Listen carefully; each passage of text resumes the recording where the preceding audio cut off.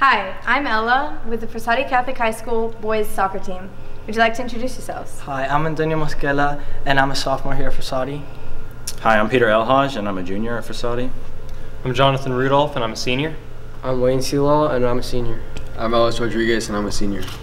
So, Jonathan, um, can you walk me through the season? Our season went pretty well this year. We made it to the playoffs, so that was pretty great. Um, Wayne, so tell me about your best memory on the team. My best memory was winning our last game in overtime to make it to playoffs. Alex, what's the legacy that you want to leave behind as a senior?